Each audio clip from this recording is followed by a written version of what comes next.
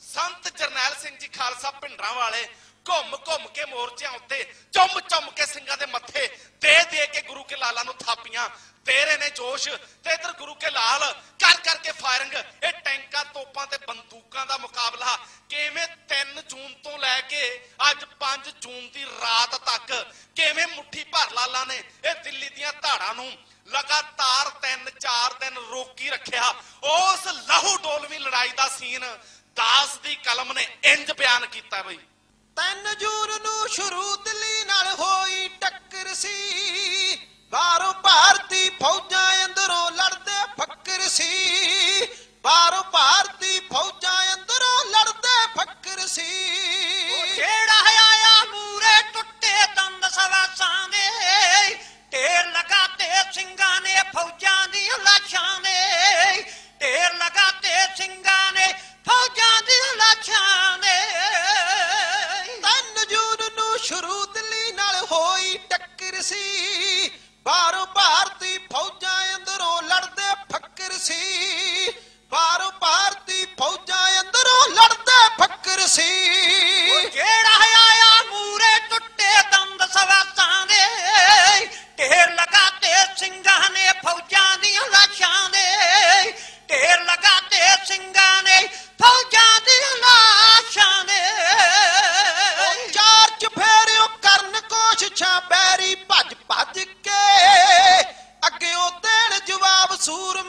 ਅਸੀਂ ਗੱਜ ਗੱਜ ਕੇ